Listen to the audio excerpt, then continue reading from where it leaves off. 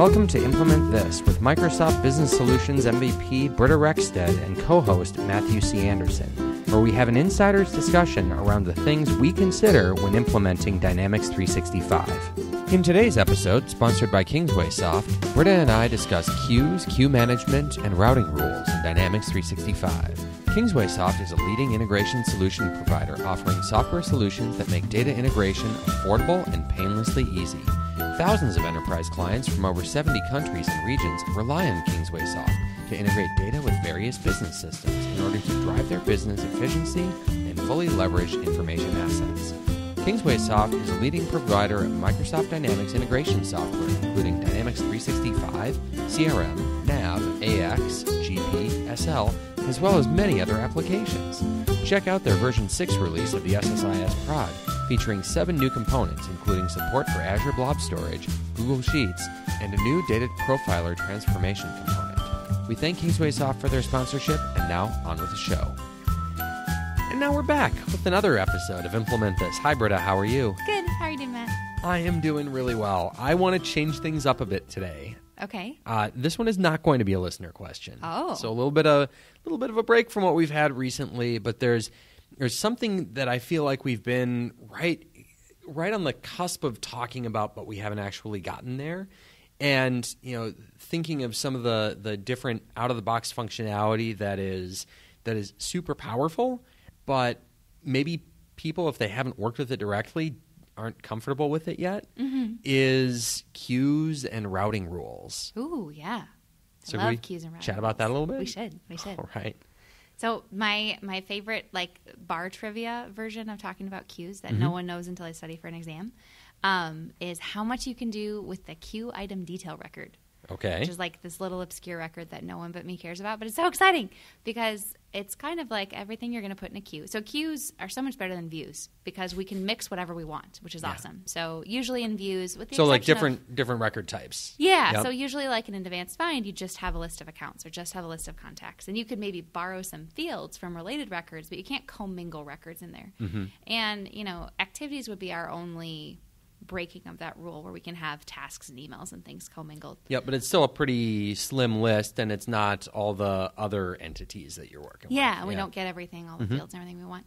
Um, and so, what I love about queues is that we can put nearly anything in a queue. Mm-hmm. And then um, there's all this nice logic we can do about deciding who's working on what and automatically routing things to people and moving things from queue to queue. And my favorite part is that you can do it all in workflows, which, of course, is very exciting to me. Yeah. Um, and so that's what I love so much about that queue item detail record that people don't care about. Um, is that that is kind of like the envelope. So if you're going to put something in a queue, Mm-hmm. I think of that as putting that task or that email or that account or whatever case inside the the envelope, which is the queue item detail, Yeah. and then the workflow manipulates that envelope and sends it off wherever you need it to be. Okay. You have so much fun with it. It kind of unlimited nerdy fun with queues and queue item detail records. So queue item detail is that that nice envelope of work, and then that queue item detail is going to get picked up and actually worked on by somebody out of the queue. Yes. So that's what's tracking for you who has currently claimed that work. So some organizations, you just have a bunch of work sitting in a queue, and then someone can claim it, so they put their name on it. Um, and that means that they're working it. Otherwise, your manager might assign you, push you work. And it's different than owning the record because you could still have the record owned by the account exec or by somebody mm-hmm. else. But since it's in your queue and you've claimed it, you're the one working it. Yeah. And we can also do auditing and tracking against that. We know when something enters and leaves the queue and when somebody picks it up and puts it down and what it is. And then all of that we can manipulate because we have our full workflow stack to use. So Yeah. there's so much you can do with, you know, creating records and automatically putting them in the right queue or using all of those conditional rules to route things around. Before you even get into all the power that has routing rules, there's so much you can already do Yeah. um, with the tools you already know pretty well if you just learn this little extra bit about queues, Yeah. which I like. Well, and I know the the first time I was getting familiar with it, it was it was a little bit confusing to me uh, on the nature or the relationship of me as a user to one or more queues and the Yes. queue items that sat inside of those. It it was defi- it definitely took a little bit of familiarizing to figure out okay how do I actually go if I know a specific item that I want to go find how do I go and find that thing Um, so you know the, you can get to it a couple of through a couple of different paths that I found. One is you can go in through the queue, so choose the queue that you want to look at, look at the items that sit within there, and then find the the one that you want. You can also do a search just for queue items, regardless of the queue that they're in, mm-hmm. and to be able to to look for them that way. And that one, especially if there's something there where it's items that I've been working on or that have been assigned to me. Looking at that, I don't I don't have to go in through the queue to find the queue item necessarily, though that is definitely one way to, to look at it. Mm-hmm. Yeah, definitely. Something to keep in mind is that we have public and private queues. And public does not mean public, public, like to the outside world, just means within your organization. It's not locked yes, down. yes. Um, and what's really interesting is that um, if you have visibility on a queue, even if you don't have visibility, let's say I have a whole bunch of tasks that are mine, and the way our security is set up, you can't see my tasks that I own, but I have them uh, in a public queue that we can both see. Mm-hmm. You can actually see the queue item detail records, so you could see the name of my task Yeah. or the name of whatever it is, because the queue item detail always knows what it's actually hanging on to, what's inside the envelope. It can see that. And so what's interesting is that can create a little bit of a security. It feels like a panic because it looks like there's Yeah. been a breach, and all of a sudden Matt can see Britta's tasks, and that's disastrous. Uh, not really. He's pretty awesome, but um, but it can create kind of some fear there. So you do need to be aware of um, the appearance of that breakage. It's not like once again you couldn't actually go in and open that task. The security holds firm, but the names of things. So if names are really Yeah. sacred and protected in your organization, you have to be aware of that. That public queues and just commingling everything might not work. I have one customer who we have so many queues per product because individual teams they have all these Chinese walls between things and they mm-hmm. can't see over it, and it's really important. So we have a ton of queues, and then we're dynamically assigning things with lookups to make sure we get something into exactly the right queue Got it. and doing things that way. The other thing to keep in mind, this is a little funny, it's always um, when I'm coaching admins, it's part of what I do, um, is teaching people how to do their own implementation. And what nearly everyone who gets into queues runs into and calls me in a panic for is they assume that as an admin, they can automatically see into all of the queues in their system, which is typical in almost everything we do. If you have system admin rights, you can see everything. Uh, there is nothing outside of your view other than like personal views or personal dashboards of your users or something. Uh, that's not the case with queues. So, um, for a private queue, you have to actually add the members explicitly, and that includes adding yourself, which is weird. We don't have to do that anywhere Right, else. right. But queues are so locked down in that way that as the admin, you can go look at, you know, something that you. It's funny because you can see that queue because you're the admin, Yep. but you can't see the contents unless you add yourself, which is like this panic step that everyone hits. That it just it just kind of is outside of the norm for us. Yeah.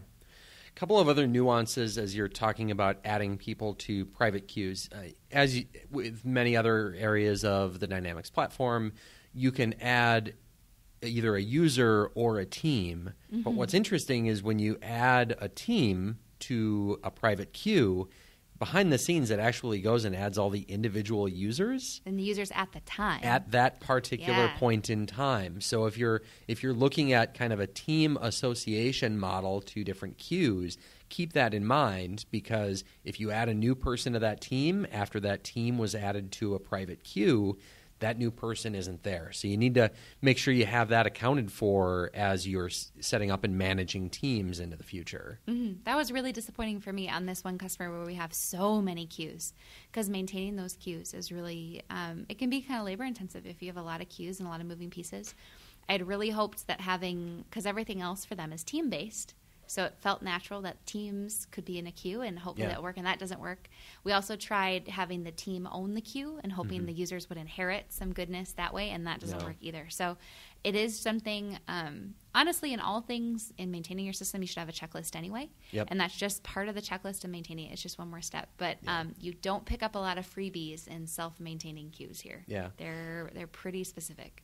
So it was interesting. I ended up using, as part of a, a proof of concept, we were looking at kind of what's a good, efficient way to manage that that user versus team association to queues, and we we came up with actually a, a pretty creative way to be able to use somebody's current team membership, that team's association to a an intersect record. So We called it the Team Q Association. Mm-hmm. Nice. um, and, and we used that as a filter criteria on what people were going to go and see in, uh, it was an advanced find, um, or, you know, technically a fetch, fetch XML query that was being run in the background. But we used the association of the team at that point in time as an additional step. So we ended up using more uh, public queues are having more people associated with private queues than you would otherwise think of doing. Um, but we did kind of this additional validation point of team association because even if you remove people from a team later, it doesn't go pull them off Yeah, yeah, uh, of the, the queue either. So it kind of has to work both ways. But um, there are definitely some things that you can do there to be able to kind of extend the functionality and be able to do some validation like that. Um, and, Nice. and then that, that gives you a, a, also a quick view to be able to see, okay, for this team, what are the queues that team is associated to? And if you, say, wanted to use uh, some sort of automation, maybe a workflow to go and evaluate users who are associated with teams, you now have the record that's connected to both the queue and the members of the team that should be part of that. So it, mm-hmm. it makes it that step closer, a little bit easier to work with. Nice. Yeah. Nice. It's a good way to pull it all together. Yeah. Something I think that's different with queues also than what I do everywhere else. I like having views on dashboards. I think putting a view somewhere convenient for the user tends to make a lot of sense. And this is one of those places that I don't tend to steer users towards these custom views. I do use them here and there and sprinkle them on dashboards and things, but there's so many buttons that have to do with moving things through the queues, whether it's picking and releasing, which is that action of saying, I'll grab it, oh, just kidding, and putting it back, or having your manager take it, or um, those kinds of things.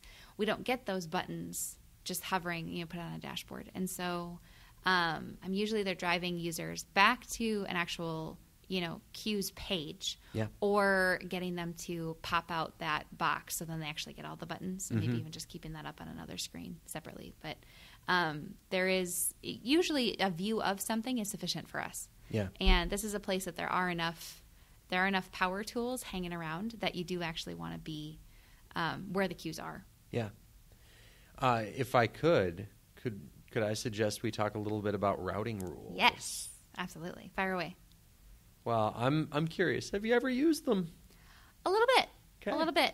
Um, not as much as uh, workflows, obviously. I'm Uh, surprised that you of all people and how much you've worked with queues that you're not like yeah, yeah, all over the place. yeah, yeah, I know. It's well, that's part of the value of our show. is very transparent and honest. I don't Yeah. use routing rules as much as you would think. I think part of that is I lean probably too heavy on workflows, Mhm. comfortable there, and um, in the projects that I've worked on, routing rules didn't quite fit what we were looking to do. Yeah. Um, and maybe it was a little more user involved, a little less automation. Well, and- and what's interesting about that is, I mean, routing rules at their core, um, they they actually build out a workflow for you on the back end that does this assignment of of new work items to queues. So there is like when you're doing the the routing rules, you are building a workflow in a roundabout sort of way. You don't have the the Yes. same level of control, but And I uh, love control, though. That's the thing, Matt. you should know that about me by now. oh, we all know that. oh, yes. It's not hidden at all. but um, so you know, kind of at at the foundation of setting up routing rules, you have the routing rules themselves, and you have routing rule sets. So the routing rule set, think of it as the container for all of the different rules that are going to be in place for figuring out which queue an item should go into uh, once it's created. Uh, so, and for that, you have the there, there's only one routing rule set that you can actually have published at any one given time. So uh, that is just purely to be able to make sure you don't have conflicting routing rules. You know, one says it should go to QA, another says it should go to QB. Which one should win? Well, the one that wins is whichever routing rule set is published there, and then for each of the individual routing rules that you have, whether it's five or 500 or more, it's going to evaluate kind of consecutively through those rules until it finds one that matches where should this item go and drop it into that queue. Oh, okay. And once it finds one, it stops looking then. Exactly. So you can you can make sure that everything lands somewhere just by nature of making your very last routing rule uh, rule to be to have it go to some sort of default queue or something looking for a manual follow up, um, or you can just instruct people to go look for queue items that don't have an association to a queue yet. Mm. Um, but that that is one of those uh, places where it's it's workflow that's evaluating that behind the scenes. So there is the um, you know as as those get created, it's going to kind of process through that using uh, using those rules. And they're built when you build them out, it looks like you're building uh, kind of a hybrid between an advanced find and a workflow. Um, as you're as you're putting those together, it's uh, very similar. If you're comfortable with the advanced find screen and putting together those types of filters, you already know how to build out the rules for routing rules. No, okay. So you're maybe guilting me a tiny bit into using them more I'm being stubborn, just using workflows. Uh, so every, everyone it sounds like everyone it's within can, my wheelhouse, and I should definitely go find an excuse to use them this week. Yes. Is that what I'm hearing? I was going to encourage our listening audience to tweet at us if uh, whether whether you think I, a little bit. no, whether whether you think I'm being overly harsh on Britta, let let us know. Bring it. It's not my on Twitter. That's not my intent here, but here we are recording this, and you can be the judge. You can you can weigh in on this. But yes, everything's coming up Milhouse, and like go and go and te- check it out, have some fun. Okay, um, sounds good. Uh, one one thing that I will say about uh, routing rules is if you are creating a new queue item uh, manually uh, in the inside of Dynamics, kind of from the the standard uh, user interface, the routing rules aren't going to automatically try to apply until you say apply routing rules to that item. Now that's different from if something is coming in via an integration or through the API. When those come in, they automatically trigger to go against that routing rule set. Mm-hmm. So just keep that in mind. You know that that is a little bit of a variation that may be great for you depending on the the way you're using queues. Uh, it, it, might not, but it's just something to be aware of. It's the kind of the nature of of how those automatic routing rules get applied. Mm-hmm. I think in all things config, we always have to make sure we cover solution awareness. Mm-hmm. And another bummer of how pesky these queues are to set up is they are not solution aware. These mm-hmm. are records. Yep. They're records that you're creating and you're relating them to other records in a specific environment. And um, you can do some magic with import export mm-hmm. and you know create your own versions of something in another environment, but they're not part of the solution. Uh, what about routing rules? Yeah, uh, we are similarly limited in routing rules. Um, you know, this is this is where uh, you know kind of deployment manager can be your friend in making that a little bit more repeatable. Looking mm-hmm. at some of those uh, DevOps capabilities that are out there inside of you know connecting to Dynamics and looking for repeatable process as you're moving things between environments. Um, using kind of more advanced tools like that can give you a leg up rather than just having like a list of records to import later. Mm-hmm. Um, but yeah, that's that's unfortunately uh, um, not one that's going to move with a solution. Yeah.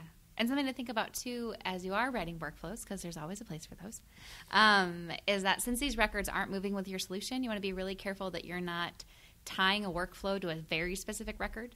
So mm-hmm. um, if you're looking up an exact queue record and then tying your workflow to that, your workflow is going to break when you move it, unless you use some kind of you know Kingsway soft or something scribe to actually move the exact queue with the same GUIDs. Yep.